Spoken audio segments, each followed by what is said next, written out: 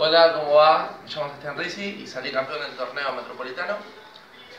Y nada. Y yo soy el padre y soy el entrenador físico. Vine a verlo, a ver cómo rendía el muchacho.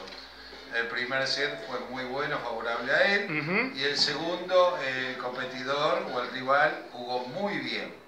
Lindo, linda final. Los felicito a los dos. Bueno chicos, felicitaciones, padre, hijo, hijo, padre.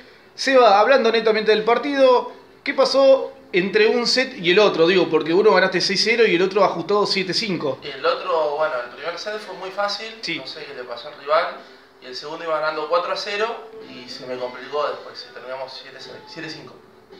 Perfecto, fue un torneo largo, de muchas fechas. ¿Cuál es el balance general que tenés? Fue un torneo muy bueno en el que arranqué tercero en la zona. Ujú. Y bueno, gracias a Dios le pude ganar a mis rivales que me ganaron en la zona. A ver, recordame los rivales que te enfrentaste y quién fue el más difícil. Para mí el rival más difícil fue Georgie. Que perdí en la zona y él salió primero, pero ahora en la semifinal le terminé ganando yo. Perfecto, bueno, Alberto Giorgi, un hombre con mucha experiencia a lo largo y a, y a lo ancho del circuito tenis. Pregunta puntual, Sí. ¿te habías enfrentado a tu rival? ¿Lo conocías o es la primera vez? Nunca lo enfrenté, pero sé que en la otra semifinal le ganó a Pio Vanelli, Sí. que Pio Vanelli es un rival muy fuerte. Bien, a lo largo de los años que vos también has participado en los diferentes torneos, ¿qué pensás que creciste más? ¿En lo mental o en lo tenístico? En ambas cosas.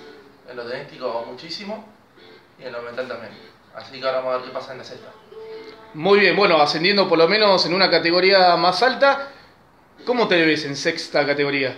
Y me veo bien, vamos a ver qué pasa, pero me veo bien, ya que en séptima fue bastante lindo. Es buena experiencia. Bueno, Seba, te ganaste todos los premios que te da Circuito Tenis. Te voy a dar algo, ya que está tu papá, preparador físico, que te debe entrenar, que es la pelota del partido. Mira, esto solamente se lo doy a los campeones y en esta oportunidad quiero preguntarte a dónde vas a poner el trofeo, la pelota y todo lo demás. Lo vuelvo en la vitrina con todos mis demás trofeos. Tengo bastante. Tenemos una vitrina hermosa, llena de medallas y trofeos. Y vamos a agregar la pelota del campeón. Bueno, preguntarte a vos, que sos el padre, ¿cómo te sentís en esta situación? Y un buen regalo en el Día del Niño. Es, cierto, Día del Niño, por cierto, y el niño se lleva El niño los premios. lleva en este caso. Bueno, Seba, ¿el saludo para quién? Bueno, para mi viejo Sí. y para, bueno, para todos los que me conocen.